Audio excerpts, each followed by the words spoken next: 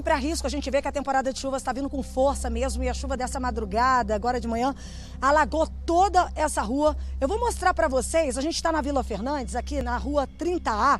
Ainda tem um pouquinho de lama com poça d'água. Mas olha só aonde que chegou a marca na parede. Eu tenho 1,60m e pouco, tá aqui ó, na cintura. Eu conversei com a moradora, a senhora Neide, que mora há sete anos aqui nessa casa. Ela disse que para dentro, como fica um pouquinho mais inclinado, chegou só no pé da cama, não chegou a perder muita coisa. Mas essa região aqui, ela fica numa área mais baixa que o rio Anicuns, que fica do outro lado. Depois eu vou falar das desapropriações, mas vamos mostrar aqui desse lado. A Defesa Civil está chegando, a gente daqui a pouco vai conversar com eles.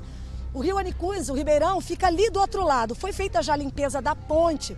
Só que por essa rua ficar num setor mais baixo, a água desce com força nesse momento em que tem uma forte chuva, tem a cheia do rio e isso acaba invadindo aqui um problema que já está há anos se estendendo. Tem uma moradora aqui que eu conversei com ela, deixa eu chamar a dona Maria.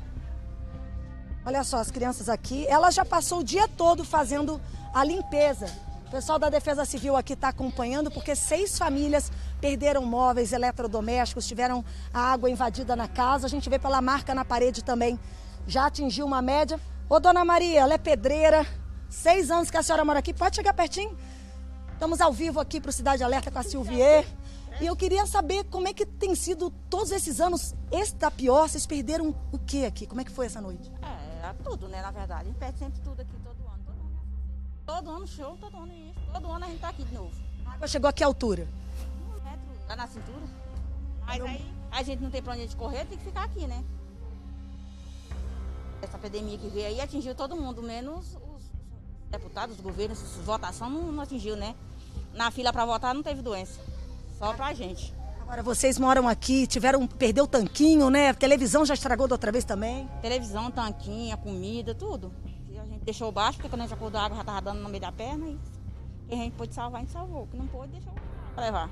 Agora o pessoal está vindo aqui para fazer um cadastramento. A gente vê que tem algumas casas sendo desapropriadas aqui na rua. Pedi para o Douglas mostrar lá o fundo. Tem o carro do pessoal que veio com a Defesa Civil da GCM. Mas onde tem aquelas árvores lá, tem já terrenos desapropriados. Eram residências que ficavam.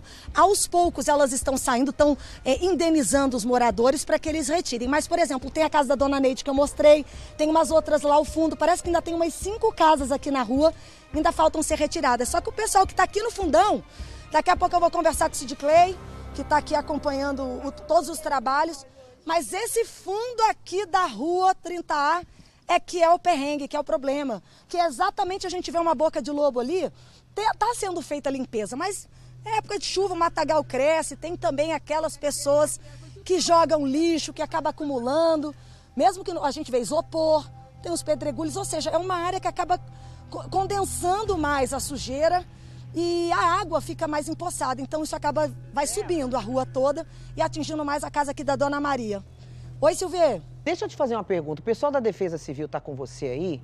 É, a gente não quer condenar, pelo amor de Deus, o trabalho tá. da Defesa Civil, em hipótese alguma, mas eu preciso saber deles por que, que esse tipo de trabalho não é feito antes do período chuvoso. Porque essas áreas são condenadas a vida inteira. Isso não melhorou do ano passado, do ano retrasado. E claro que eu sei, gente, não é fácil o trabalho da Defesa Civil, falta pessoal para conseguir fazer todo o trabalho, mas eu tenho que pensar na população. Aqui esse programa tem que tender-se ao lado da população. Essa é a minha pergunta, Débora. Vou repassar aqui para o Sid Clay. Olha, boa noite, obrigada por ter vindo. A gente até de improviso aqui acabou de vocês chegarem. A Silvia quer saber, Sid Clay, vocês que realizam esse trabalho né, ao longo dos anos, mas assim, especificamente aqui, que já acontece sempre, não teria como começar antes das chuvas um trabalho para poder orientar os moradores não sofrerem tantas perdas? Sim, o trabalho da Defesa Civil, ele é, começa com o preventivo, depois o assistencial e agora depois dessa situação de recuperação. O preventivo foi feito. Aqui nós tivemos hoje pela manhã, depois agora fazendo um assistencial, é, pedimos o apoio do pessoal da SEMAS, que o pessoal pediu, perdeu tudo, perdeu a condição de, de habitabilidade, o local está insalubre, porque além das águas da chuva também tinha o derramamento de esgoto. Então os alimentos se perderam, tem que fazer uma higienização. Então nós pedimos o pessoal da epidemiologia para fazer uma avaliação e uma orientação. E no, no levantamento da, das SEMAS, eles identificaram e repassou para a gente que no cadastro consta que eles não são proprietários, eles são inquilinos. Então são pessoas que, é, se valendo um preço menor do, do aluguel, se condicionam numa situação dessa. Então o poder público já tem ciência disso e a SEMAS, que é de responsabilidade agora do acesso social, nós vamos apoiar no que for possível, mas agora são pessoas que perderam toda a condição. Mas já sabendo que isso aqui acontece todos os anos, a dona Maria mesmo falou que está aqui há seis anos.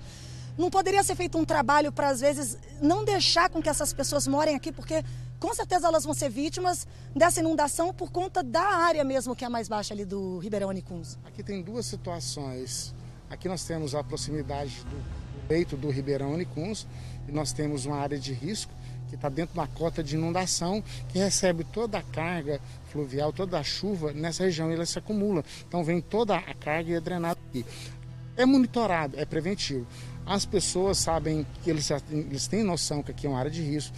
Então ela já tem noção que há mais de seis anos que ela está aqui, ela recebe essa inundação mas se valendo dessa condição de, do aluguel mais barato, ela, ela fica. Ou seja, vocês, eu não sei se existe aqui, através né, do trabalho de vocês, um serviço de aluguel social para que tire essas pessoas de áreas de risco, porque a gente vê uma criança aqui, Douglas, olha só, é o enteado da Dona Maria, uma criança pequenininha, essa água chegou até a cintura, essa criança, vamos supor, está no momento ali de desespero, não sabe nadar, pode ser fatal, a gente é, imagina todas as situações. Então, quando a gente pensa em risco, o que, que pode, pode ser feito antes, paliativamente? Talvez um aluguel social para que essas pessoas tenham outro destino, uma assistência social, um trabalho. Vocês cadastram, fazem é, esse cadastramento. Algumas casas já foram retiradas. Por que, que essas daqui talvez ainda estão de pé e, e não demole logo? Tá, a, a, situação, isso aqui faz parte do, do programa Macambeira. Então essa área aqui vai ser reintegrada num parkway, o maior parkway do, da América Latina. Então, a saída da demolição, você observa que as outras casas já foram demolidas, e a demolição ela é condicionada ainda o proprietário que não são eles que estão aqui a divergência de valores. Mas isso é, não é por parte da Defesa Civil. A Defesa Civil, independente se ele é proprietário ou não, nós prezamos pelo, pelo cidadão, pela vida humana. Então nós acompanhamos, falamos para ele que isso aqui é uma área de risco e ele está condicionada a uma questão insalubre. Então, quer dizer, começou o período chuvoso, praticamente a, a, primeira chuva que deu já deu esse estrago. Nós estamos num efeito é, climático laninha, que vai ver chuvas muito mais fortes do que essa. Então, a previsão ontem era para 18 milímetros. Nós tivemos oscilando na Grande Goiânia de 40 a 70. Nesse local nós tivemos 45 de precipitação. Então, a questão do aluguel solidário, nós monitoramos, a Defesa Civil ela tem a base de dados dela e tem o quantitativo de famílias. Nós repassamos essas informações para a Secretaria Municipal de Assistência Social, ela já tem o conhecimento. São quantas famílias? Aqui são seis famílias, são três edificações e nessas três edificações nós temos seis famílias. Obrigada pelas informações, Cid Clay. A gente vai continuar daqui a pouquinho. Deixa eu só fazer uma última pergunta para a dona Ana Maria aqui. Rapidinho, dona Maria. Porque você é proprietária ou inquilina? Como é que fica? Inquilina. Você já conversou com o dono aqui da casa sobre esse risco? A senhora hoje não sai daqui, porque é mais barato. Quanto a senhora paga de aluguel aqui? Por enquanto eu não estou pagando nada. Mas eu já paguei até esse tempo para cá. Aí não tem para onde a gente correr, né? Porque tem que ficar aqui. A ação é dificuldade mesmo, tá trabalhando, como pedreira, tá, tá difícil? Tá difícil, tudo tá difícil. Aí você tem que ficar aqui esperando, né? A boa vontade do povo arrumar, ajudar a gente corre o risco. Aí não tem um aluguel social para poder sair. Aluguel, não tem nada, que tem que ficar aguentando aqui. De chegar de noite tem que subir para casa e ficar esperando que a água seque e pronto. Vamos acompanhar. Obrigada pela sua participação, Silvier. É, é, uma realidade, assim, a gente vê que o trabalho das autoridades é feito, existe o cadastramento, uma tentativa de falar com os donos, especulação de valor, porque às vezes também pode acontecer do dono não querer aceitar o preço que a prefeitura vai pagar para poder, desa poder desapropriar aquela área, como já foi feito em vários terrenos aqui. Uma outra moradora falou que umas oito casas já saíram. Então tem vários terrenos baldios aqui em volta para justamente começar a liberar essa rua. Então a gente espera para encerrar aqui, Silvia, que haja uma boa vontade, um acordo entre as partes e que um olhar atento para essas famílias que precisam de uma coisa muito importante, não é só assistência à casa não, mas trabalho, emprego para poder ter uma condição de pagar um aluguel num lugar melhor.